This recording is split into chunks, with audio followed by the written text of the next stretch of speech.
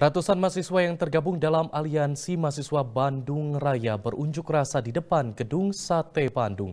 Unjuk rasa mendesak Ratna Sarumpait meminta maaf terhadap warga kota Bandung atas kasus berita bohongnya yang sempat membuat resah.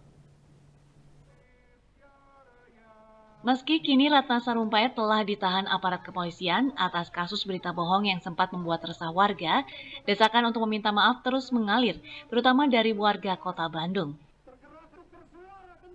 Senin siang, ratusan mahasiswa yang tergabung dalam aliansi mahasiswa Bandung Raya berunjuk rasa di depan gedung sate menuntut Ratna Sarumpait meminta maaf kepada masyarakat kota Bandung atas berita bohongnya bahwa ia telah dianiaya sekelompok orang di kota Bandung.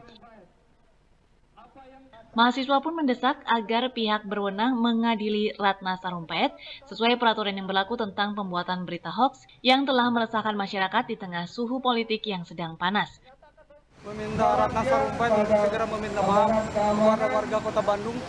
Yang kedua, menuntut supaya Ratna Sarumpait untuk segera diadili karena telah membuat sebuah berita bohong dan menyebarkan kebohongan tersebut. Yang ketiga, kita meminta pemerintah Kota Bandung dan juga Provinsi Jawa Barat untuk uh, mendorong supaya Ratna Sarumpait ini segera diproses secara hukum. Untuk mengantisipasi hal yang tidak diharapkan, puluhan aparat kepolisian pun diterjunkan mengawal jalannya aksi.